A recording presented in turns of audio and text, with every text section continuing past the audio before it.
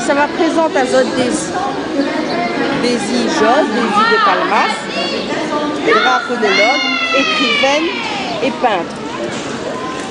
Je rappelle également que Daisy est prof d'anglais et souvent dans ses cours, elle y partage cette passion avec ses élèves. Daisy, tu nous présentes cette passion? Je suppose que tu veux parler des dragons. En effet, je suis dragonologue. J'étudie les dragons. C'est pas très courant, je sais les dragons, mais c'est pas moi qui les choisis. Ils m'ont choisi.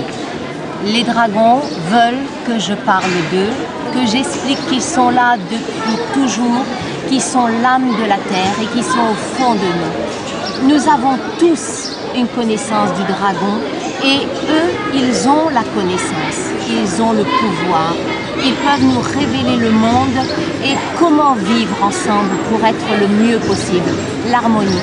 Parce que les dragons partagent la terre aussi. Ils ne veulent pas que la terre soit détruite à cause de nos, mes actions.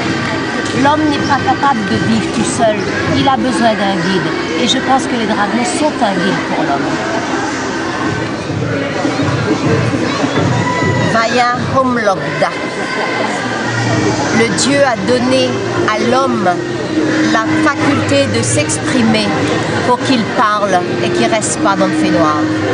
C'est pour ça que le titre de ce, ce petit catalogue, c'est Pour que la lumière soit. Et Daisy, tu parles la langue des dragons Un Alors, parle, parle à nous un petit peu cette langue-là, va.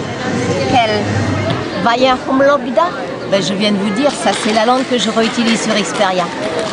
Mais sinon, je connais, bon j'apprends, c'est très très long. Il faut retrouver les termes anciens, tous ceux qui remontent avant la période du Moyen Âge, toute la période des premières tribus, lorsqu'ils commençaient à nommer les choses, comme Elexarpie, Kumanano, Kabitome.